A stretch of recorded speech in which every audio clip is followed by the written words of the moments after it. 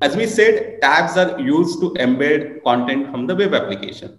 Now, if we look at the recruitment workflow, we have certain views like job position details and user dashboards that can be now made available into the teams using this tabs option.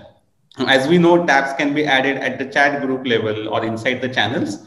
Now, one can further fine tune these views in the context of groups or channels, which can be department or projects if mapped correctly into the organizational structure.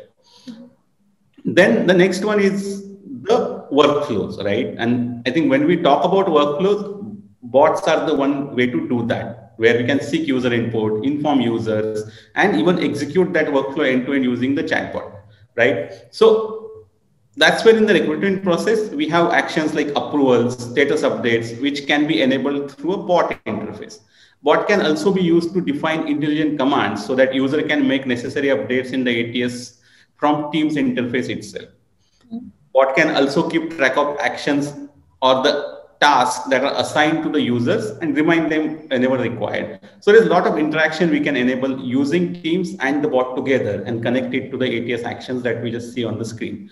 Moving on, we have messaging extensions where it can be used to seek quick user input that can trigger actions into the external apps, right? So here we have actions like getting user comments onto the different stages that are there in the hiring process or even feedback about an interview, which one can just enter through a sort of enter through a chat chat box that teams offer and the ATS updates would happen automatically in the background.